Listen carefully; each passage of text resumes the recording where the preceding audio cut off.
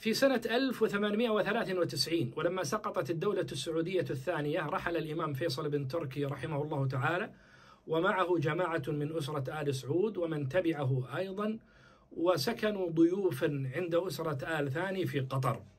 ولما أقيمت لهم مأدبة حضرها جماعة من أسرة آل ثاني وأعيان قطر. كان من جملة من كان حاضرا في تلك الوليمة الوجيه والتاجر القطري عبد اللطيف بن مانع رحمه الله تعالى. وكان الملك وكان الإمام عبد الرحمن الفيصل يعرف لهذا وجاهته. فسأله مازحا وحول الإمام عبد الرحمن الفيصل بعض أولاده وكانوا صغارا وفيهم عبد العزيز قبل أن يصير ملكا رحمه الله. فقال له الإمام عبد الرحمن يسأل ابن مانع قال له يا ابن مانع من ترى من أولادي يعيد مجد آبائه؟ قال إن لم أكن مخطئا فذاك. وأشار إلى ولد ليس الملك عبد العزيز وإنما رجل آخر ولد آخر. فلما قضي الأمر واستطاع الملك عبد العزيز رحمه الله تعالى أن يعيد لآل سعود مجدهم وتاريخ حكمهم اجتمع بالوجيه والتاجر القطري عبد اللطيف بن مانع رحمهم الله جميعا. فقال له يا ابن مانع أنا راضي عليك وزعلان عليك. قال شو المرضيك وشو المزعلك يا طويل العمر؟ قال راضي عليك لأنك أنت معروف بحبك لآل سعود وحرصك على آه، التواصل معنا. وأما اللي مزعلني عليك في يوم أنك أنت قلت أن, أن الذي سيعيد مجد آبائه فلان وأشرت إلى أخي ولم تشر إلي. قال طال عمرك سحابة خلتها مطرا فلم يخرج المطر منها. الوجيه عبد اللطيف بن مانع رحمه الله تعالى يعد من كبار وجهاء قطر والخليج العربي وهو ينتمي إلى أسرة لها وجاهتها السياسية وزعامتها التجارية ومكانتها الاجتماعية ومآثرها الخيرية.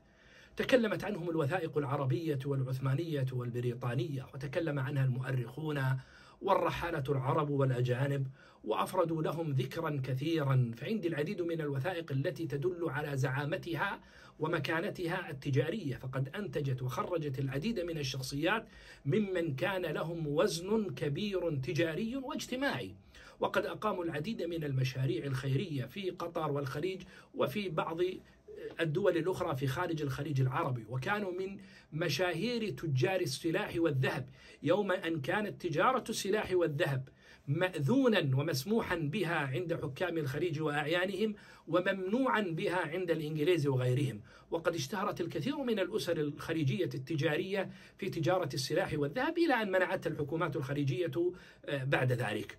والمراد أن هذه الأسرة الكريمة أسرة المانع التي خرجت العديد من الشخصيات وما زالت محافظة بحمد الله على مكانتها السياسية والتجارية والخيرية والاجتماعية إلى يومنا هذا في قطر وفي عبوب الخليج العربي مع شهرتها إلا أن كتب التاريخ لم تعطها حقها ومثلها جدير بأن يتكلم عنها. فخلال فهرستنا لمشروع ديوان الخليج أضخم قاعدة بيانات خاصة تعنى بتاريخ الخليج وحوادثه وشخصياته وأسره وقبائله وتضم مئات الألوف من الوثائق العربية والعثمانية والبريطانية وكتب التاريخ والأنساب وهي متاحة للجميع يمكن الوصول إليها عبر محرك البحث جوجل بكتابة ديوان الخليج.